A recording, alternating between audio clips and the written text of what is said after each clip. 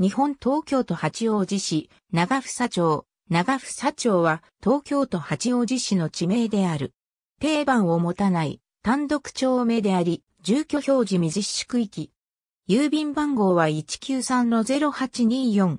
町名の読みは、行政上は長房町だが、長房町の読みが一般的に使用される。大規模団地である都営、長房団地があり、一時期は団地の居住人口が約2万人に達していた。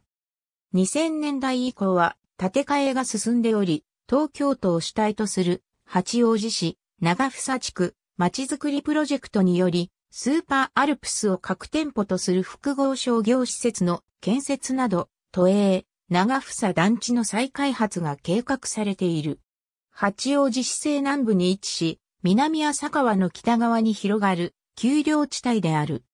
東で横川町、西で二十里町、南で千人町、並木町、東浅川町、北で横川町、城山市、元八王子町と隣接する。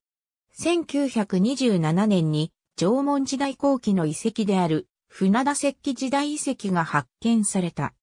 長房団地周辺は1944年4月に市ヶ谷台から東京陸軍幼年学校が移転し、県務台と名付けられていた。1968年に長房団地が建設され、工事にあたり遺跡発掘調査が行われた。2009年現在、長房団地の建て替え計画が進行中である。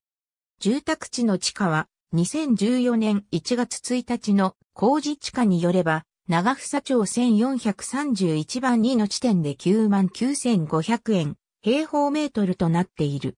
2017年12月31日現在の世帯数と人口は以下の通りである。私立小中学校に通う場合、学区は以下の通りとなる。南浅川橋など周辺一帯は、夕日が岡野総理大臣、朝日が岡野大統領などのロケ地であった。二重生活のロケ地でもある。ありがとうございます。